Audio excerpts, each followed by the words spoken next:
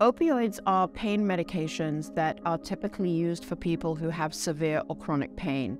Um, there are different kinds of opioid medications. There are short acting opioid medications, such as Opana or Percocet, and then there are longer acting uh, opioid medications, such as Oxycontin, and anything that has an ER um, discriminator uh, at the end of the medication would be extended release, meaning that it lasts a lot longer in the body. Short acting opioid medications will typically stay in the body from four to six hours, and then you would need to take another pill in order to experience that pain relief. There's a difference between opioids and opiates. Opioids are medications that are synthetic or semi synthetic, and they are made in a lab.